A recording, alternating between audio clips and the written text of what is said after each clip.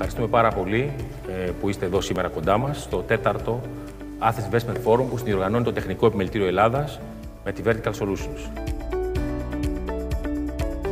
Να ξαναχτίσουμε τη χώρα και μαζί να τη βελτιώσουμε, να την πρασινίσουμε, να την κάνουμε πιο ανθεκτική.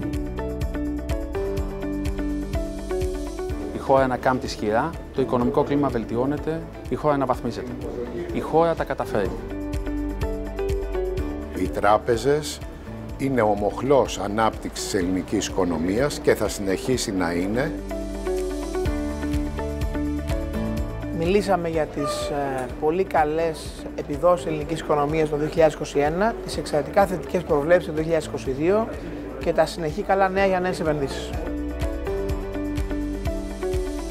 Το κάθε ευρώ που επενδύεται γεννά κι άλλα, κι άλλα, κι άλλα ευρώ, που επενδύονται και αυτά με τη σειρά τους.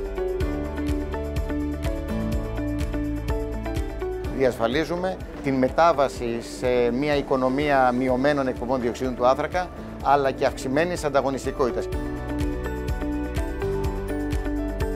The combination of gas and renewables have already delivered good results.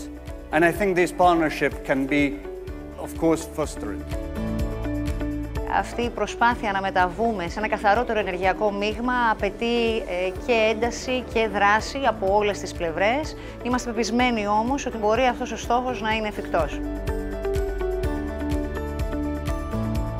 Όλα αυτά τα 455 έργα της βίβλου του ψηφιακού μετασχηματισμού είναι αναγκαίες μεταβλητές μιας εξίσωσης η οποία δημιουργεί ένα κράτος το οποίο πραγματικά συμβολίζει και λέει στους πολίτες ότι τους σέβεται.